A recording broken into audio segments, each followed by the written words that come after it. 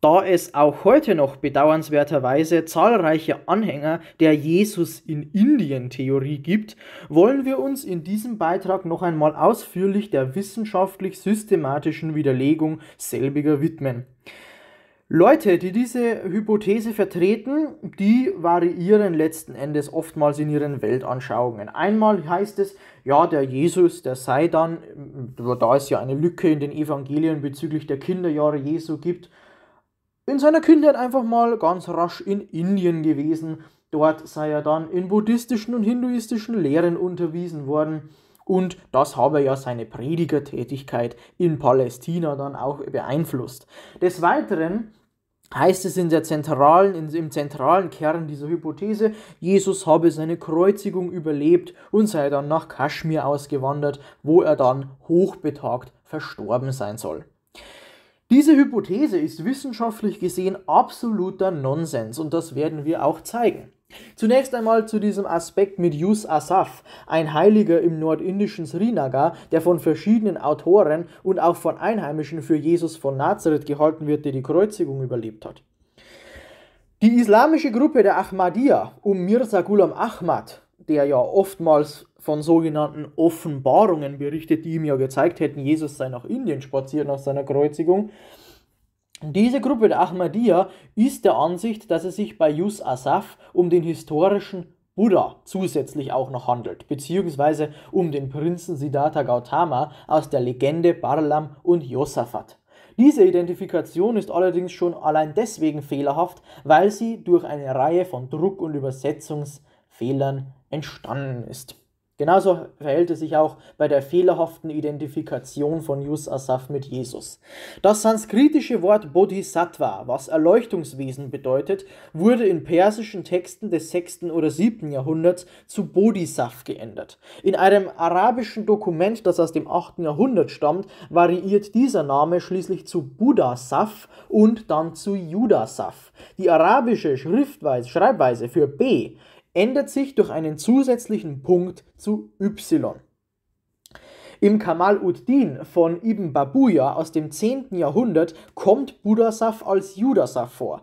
In den Schriften der lautenden Brüder von Basra, der Ikwan al-Safa von 1405, variiert der Name dann zu Yusasaf. Auch in arabischen und persischen Versionen der Legende von Barlam und Josaphat variiert der Name des Buddhas Siddhartha Gautama von Budasaf über Judasaf zu und Yusasaf, Yusasaf, also einem, eine, eine, einem indischen Namen, dann zu Yusasaf. Das bedeutet, der Name Yusasaf wird dann getrennt zu Yusasaf. Das funktioniert im Europäischen bei den europäischen Namen, nicht aber im Indischen, wo du nicht einfach einen Namen nehmen kannst und diesen dann durchschneiden kannst. Das allein ist schon philologisch absolut fehlerhaft. In Fida Hasnains und Gulam Ahmads Übersetzung der Legende von Barlam und Josaphat ist das Wort Yusasaf dann auch in diese zwei Worte aufgeteilt. Und Gulam Ahmad identifizierte Siddhartha Gautama dann mit Yusasaf und diesen wiederum mit Jesus von Nazareth. Wie gesagt, es handelt sich um Abschreib- und Abdruckfehler, welche dann letzten Endes zu, einem Fehl zu einer fehlerhaften Namensform geführt haben, die allerdings keinesfalls auf den Namen Jesu zurückzuführen ist. Und David Marshall Lang, ein britischer Historiker, der die Abteilung Kaukasische Studien an der School of Oriental and Afri African Studies der Universität London leitete, wies in einem ähm, Aufsatz der Encyclopedia of Islam von 1960 darauf hin, dass die Verbindung Buddhas mit Kaschmir auf einen Druckfehler in der arabischen Version Balam und Josafats von Mumbai zurückzuführen sei. Kaschmir die arabische Form von Kaschmir wird an der Stelle Buddhas zu tra äh, zu Tradition, zum traditionellen Sterbeort Kushinagar, also dem traditionellen Sterbeort von von Buddha und ähm, da wird das im Pali und Arabischen wird das wird da eben fehlerhaft übersetzt und so handelt es sich um nichts weiter als um eine fehlerhafte Identifikation aufgrund eines aufgrund eines falschen ähm, einer falschen Überlieferung dieses Namens. Nikolaus Notovic erregte im Jahre 1894 internationales Aufsehen durch seine Schrift, die zunächst im, im Französischen erschien, Das unbekannte Leben Jesu Christi. Dieses wurde dann in weitere Sprachen übersetzt und im Deutschen im gleichen Jahr unter dem Titel Die Lücke im Leben Jesu. Darin verbreitet Notovic die Behauptung, Jesus von Nazareth habe in, seiner, äh, habe in seiner Jugend Galiläa verlassen und lange in Indien gelebt. Und bei indischen Gelehrten habe er vor seinem späteren Wirken als Jesus Christus in Judäa den Buddhismus und Hinduismus studiert. Dies kann allerdings schon allein deswegen nicht sein, denn wo finden sich dazu Statements seiner Eltern? Wo finden sich dazu indische und auch in den Evangelien, wo, wo finden sich da irgendwelche Hinweise? Wo finden sich da Schriften? Wo finden sich da Aufzeichnungen aus Indien, die einen solchen Aufenthalt belegen? All das existiert nicht. Zudem sieht man in den Evangelien, dass in der Struktur der Evangelien absolut nichts darauf hinweist, dass Jesus Buddhist oder Hinduist gewesen sei. Wie kann man denn auf eine solche Idee kommen, wenn man die Lehre Jesu kennt, wenn man die Aussagen der Evangelien kennt? Dann wirst du feststellen, was Jesus bei seinem Abendmahl gelehrt hat. Er bezeichnete sich selbst als Weg, Wahrheit und Leben und er ließ sich am Kreuz töten und lehrte die leibliche Auferstehung. Er war Jude, der die äh, der in Synagogen lehrte und ähm, die biblischen Texte auslegte. Er war es schließlich auch, der eben ähm, diese, der eben nicht, es findet sich keine einzige, kein, einzigen Hin, kein einziger Hinweis darauf, dass Jesus die Wiedergeburt gelehrt habe. Und die christliche Wiedergeburt ist etwas vollkommen anderes, denn, das ist nach der Taufe ein Neuanfang im Leben Jesu Christi. Das bedeutet, die biblische Wiedergeburt hat mit dem Reinkarnationsgedanken absolut gar nichts zu tun. Das bedeutet, dass Jesu Lehre und Lehren in den Evangelien hinduistische oder buddhistische Spuren enthalten müssten. Diese Lehren, die Jesus von Nazareth in den äh, Evangelien gibt und die dann eben auch von den Aposteln vertreten werden, sind allerdings so unhinduistisch oder unbuddhistisch, dass das ernsthaft nicht, dass das nicht ernsthaft ähm, Thema sein sollte.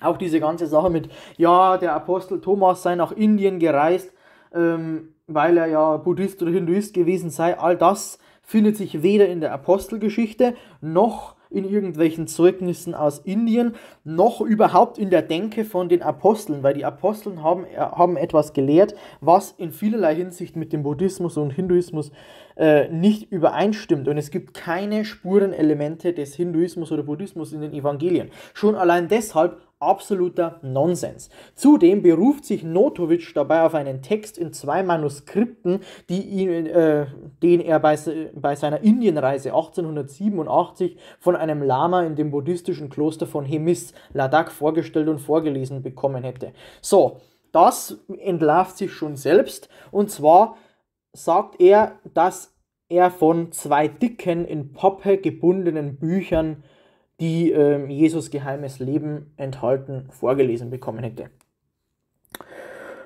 Ja, schade nur, dass zwei dicke in Pappe gebundene Bücher in Indien und in buddhistischen Klöstern absolut unmöglich vorkommen können. Denn gebundene Bücher existieren hier schlichtweg nicht. Denn wie macht man es in Indien? Das sind einzelne Manuskripte, festgehalten von zwei äh, äh, festgehalten von Holzplatten. Das bedeutet, die werden an Holzplatten angebracht. Gebundene Bücher findest du in buddhistischen Tempeln nicht. Das bedeutet, schon allein das ist purer Nonsens. Doch man kann es noch viel leichter widerlegen, denn Friedrich Max Müller, angesehener Sprach- und Religionswissenschaftler der University of Oxford, bekam in einem Brief vom 29. Juni 1900, 1894 ähm, die Auskunft, dass Notovic und die von ihm angeführten Manuskripte dort gänzlich unbekannt seien. Ein Russe bzw. eine Person mit den Merkmalen von Notovic hätte sich in dem Kloster nie aufgehalten. Diese Auskunft erhielt auch äh, Archibald Douglas, äh, Professor für Englisch und Geschichte am Government College Agra, äh, der das Kloster Hemis und seinen Vorsteher 1895 besuchte. Später soll Notovic sogar zugegeben haben, diese Geschichte erfunden zu haben. Wie man es auch dreht und wendet, es ist und bleibt ein Plagiat und es ist und bleibt eine Lügengeschichte, mit der man Geld und äh, Profit und ähm, Aufmerksamkeit haben wollte. Das bedeutet, hier stimmt absolut gar nichts überein. Das bedeutet absolute Lügengeschichte. Dann gibt es natürlich noch etwas ganz ähm, Faszinierendes und zwar das Wirken des Louis Jacoliot, ein französischer Konsul in Kalkutta während des Zweiten Kaiserreichs, gelebt von 1837 bis 1890. Autor und Indologe. Er lebte mehrere Jahre in Asien und legte mehrere Werke über seine sogenannten indischen Studien vor. Er will ebenfalls weismachen, dass die Jesus in Indien-These tatsächlich wahr ist.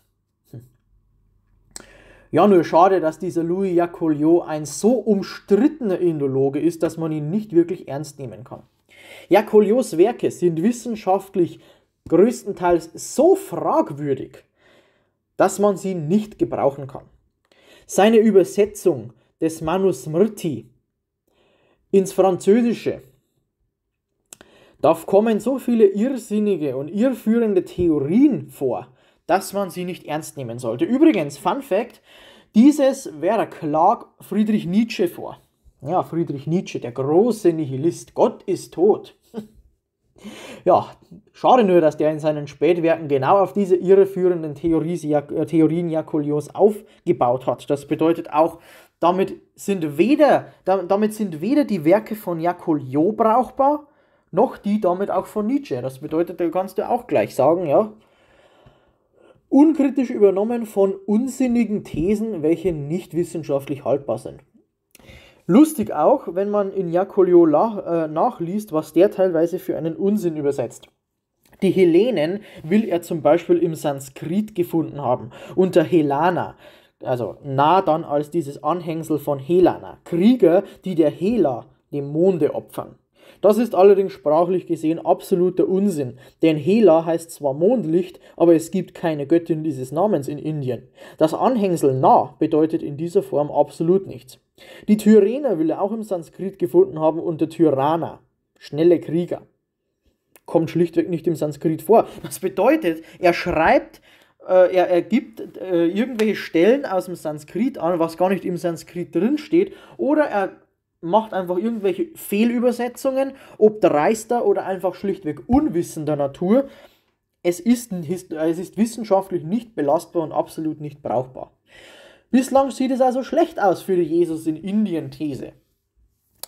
Doch auch aus, medizinischen, äh, also auch aus medizinischer Sichtweise absoluter Blödsinn, denn ähm, diese ganze lustige Hypothese mit, ähm, ja, da gäbe es ja da dieses Wunderheilmittel, ähm, da eine Droge sei ja äh, verabreicht worden von, ähm, von diesem Hauptmann am Kreuz. Ja. Jesus habe durch diesen Schwamm keinen Essig, sondern eine Droge, die ihn in einen scheintoten Zustand fallen ließ, äh, bekommen.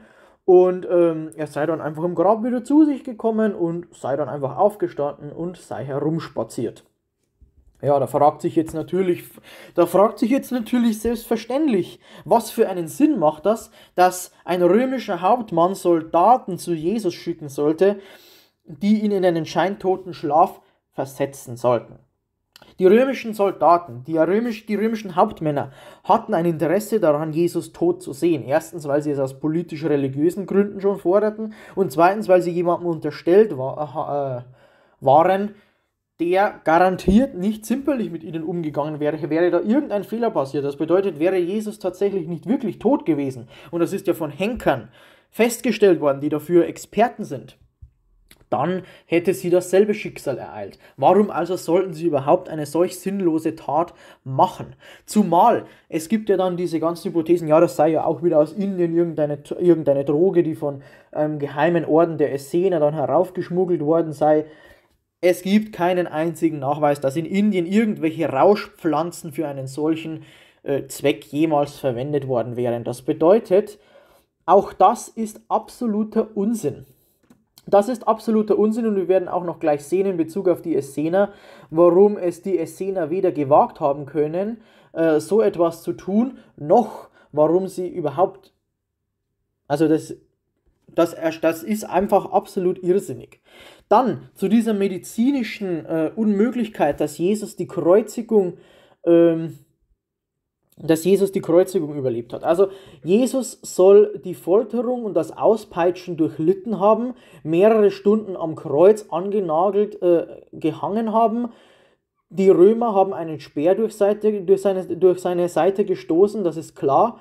Vier erfahrene Henker, die seinen Tod bestätigen, haben sich geirrt, obwohl, wenn sie sich geirrt hätten, Weißt du, was los gewesen wäre? Zumal sie Experten dafür waren. Jesus hätte durch 100 Pfund klebriger Masse, also er wurde in ein Leichentuch eingewickelt mit Spezereien. Das hat so geklebt. Wieso sollte er da atmen, wenn ihm vorher ein Speer durch die, äh, durch die Brust getrieben worden wäre? Lustig auch in diesem Zusammenhang, dass Historiker wie Johannes Fried beweisen wollen, dass dadurch Jesus Herzschlag wieder angeregt worden sei, indem man ihm einfach mal einen Speer durch die Brust pfeffert. Nicht nur medizinisch gesehen ist das absoluter Nonsens. Ähm, ja, man muss halt einfach ehrlich sagen, dass Johannes Fried und auch die anderen, die so etwas behaupten, zuvor gesagt haben, ja, das Johannesevangelium, das ist ja sowieso eine historisch unzulängliche Quelle, weil sie ja so spät entstanden sei und damit nicht für den historischen Jesus relevant sei. Dann allerdings, dann allerdings für ihre Theorie hergehen und sagen, ja, das nehmen wir jetzt einfach mal ganz hübsch als unsere Hauptquelle für unsere Hypothese, ohne dass das überhaupt nicht funktionieren würde. Das bedeutet, deren Arbeitsweise ist so unwissenschaftlich und lachhaft, dass man wirklich sagen muss, also kann man nur mit lustiger, kann man nur mit Augenzwinkern ablehnen. Ja?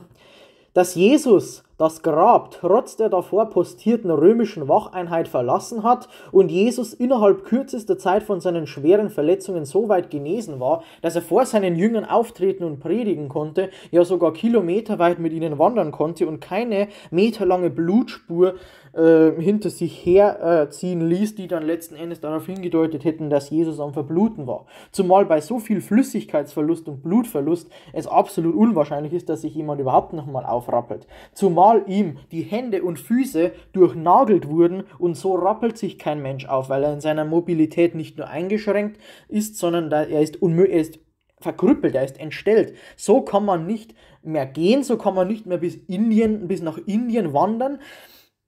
Und es muss ja so gewesen sein, denn es, denn es gibt keine Gegendarstellungen, es gibt keine konkurrierende Begräbniserzählung, es gibt keine konkurrierenden äh, Legenden gegen die Evangelien, es gibt keine Gegendarstellungen, es gibt nichts dergleichen. Das bedeutet, die äh, Sachen, in, die in den Evangelien beschriebenen Ereignisse müssen historisch sein.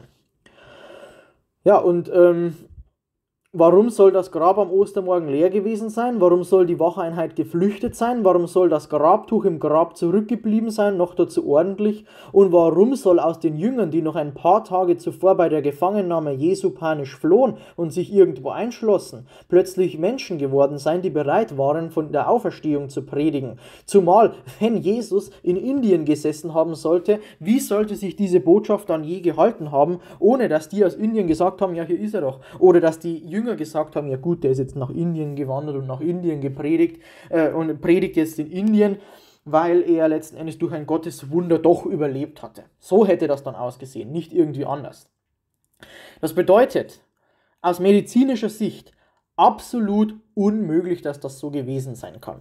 Dann noch zu dieser lustigen Hypothese, ja, jetzt geht der Geheimbund der Essener, der hat da dann wohl ähm, irgendwie so etwas ähm, gemacht wie ja, dann haben wir einfach mal gesagt, ja, ähm, die Essener waren es. Die Essener, die waren ja so großartige Heiler, obwohl sie gar nicht so großartige Heiler waren. Das bedeutet, überschätzen darf man sie jetzt auch nicht. Dann stellt sich die Frage, warum sollte ein jüdischer Geheimbund Jesus helfen? In Betrachtung der frühen jesuanischen Worte zeigt sich, dass Jesus von Nazareth fern von allen Kulten, Ritualen oder äußerlichen Frömmigkeitspraktiken, äh, Frömmigkeitspraktiken war. Das steht im Widerspruch zu der Haltung der Essener. Ja? Das steht in der, im absoluten Widerspruch äh, zur Haltung der Essener. Des Weiteren, Jesus grenzte keine Randgruppen aus, vielmehr schloss er sie in das Gottesvolk mit ein. Die armen, benachteiligten Frauen, Zöllner, Huren und andere Ausländer, Aussätzige Das machte ihn von den Essenen klar unterscheidbar. Außerdem das letzte Abendmahl. Jesus brach das Brot, sprach mit seinen Jüngern, lehrte sie bei, äh, am, am Essenstisch. Die Essener haben schweigend dagesessen und haben ganz schnell ihr Mahl eingenommen in, absoluter, in absolutem Stillschweigen und absoluter Geheimnistuerei. Das bedeutet, auch hier besteht absolut keine Ähnlichkeit. Und wenn Jesus in seiner Lebenspraxis sich so von den Essenern unterschied, dann kann er erstens selbst keiner gewesen sein und zweitens, wenn das so war und er kein Essener war, warum sollten die Essener dann einem angeblich gescheiterten Messias helfen und damit selbst ihr Leben riskieren? Zumal wenn die da am Grab aufgetaucht wären, dann wäre höchstens berichtet worden darüber, wie die Wachen sie verscheucht hätten. Ja, das bedeutet, sie wären gar nicht zu Jesus hineingekommen. Und vor allem, warum sollten sie das tun? Warum sollten sie sich da erwischen lassen, wenn sie da überhaupt keinen Zweck dahinter sehen können? Diese angeblichen geheimen Friedensevangelien der Essener, das Urevangelium der Essener, alles Fälschungen, alles, allesamt irrsinnige äh, Fälschungen von, Plagia von, von Menschen, die für Plagiate bekannt waren, das habe ich ja schon mal ausgeführt, kann also absolut nicht sein. Des Weiteren ist es natürlich so, dass ähm, nicht geklärt ist, wieso jetzt die Essener plötzlich mit den Indern in Verbindung stehen sollten, wie das alles so gewesen sein sollte. Und wenn man dann herkommt und irgendwelche Sachen sagt von wegen, ja, da gibt es ja die Jesuswiese in Indien, da gibt es ja ähm, Ortschaften und Personen, die nach Jesus benannt sind. Ja, das kann schon sein. Liegt vielleicht auch daran, dass es Missionare gab und die nestorianische Kirche und auch die römisch-katholische Kirche in Indien missioniert haben. Und das liegt nicht daran, denn da müsste es irgendwelche Zeugnisse geben, wenn da Jesus unten gewesen wäre. Das hängt also absolut, hat absolut nichts damit zu tun, dass Jesus hier irgendwie ähm, oben gewesen, also da gewesen sein soll. Also das absolut nicht wirklich glaubwürdig. Dieses 1859 in Leipzig erschienene Buch ohne Autorenangabe mit dem Titel Wichtige historische Enthüllungen über die wirkliche Todesart Jesu nach einem alten in Alexandrien gefundenen Manuskripten äh, von, Zeit, von einem Zeitgenossen Jesu aus dem Heiligen Orden der Essäer aus einer lateinischen Abschrift des Originals übersetzt. Erstens, wer garantiert dafür, dass es überhaupt richtig übersetzt hat? Und zweitens, wo ist dieses Manuskript? Es existiert nicht. Dieses existiert schlichtweg nicht. Und dieses Buch ist auch eine Fälschung. Das ist alles ein Pla das, ist, das sind Plagiate, das sind Fälschungen, die mit der Realität nichts zu tun haben. Solche Manuskripte hätten überliefert werden müssen. Es hätte diese Gegendarstellungen geben müssen, die gibt es nicht. Dann hätte das Christentum niemals so florieren können. Ja, und das bedeutet letzten Endes einfach alles, dass alles, was diesen historischen Berichten heutzutage entgegensteht, kann nicht wahr sein, denn diese konkurrierenden Legenden müssten schon damals existiert haben und damit das Christentum zerstört haben. Das finden wir allerdings nicht, dieses Phänomen. Das bedeutet auch absoluter Unsinn. So verbleibt nicht wirklich viel von Jesus in Indien. Das Einzige, was verbleibt, sind christliche äh, Legenden aus Indien, sind irgendwelche christlichen äh, Kreuze und Male aus Indien, ähm, die allesamt damit zu tun haben, dass die Kirchen selbstverständlich und christliche Missionare auch in Indien unterwegs gewesen sind und christlicher Stoff dann eben dort eingearbeitet worden ist. Letzten Endes hat das aber nichts damit zu tun mit einem angeblichen Aufenthalt Jesu in Indien. Denn das ist und bleibt einfach nur pure Fiktion.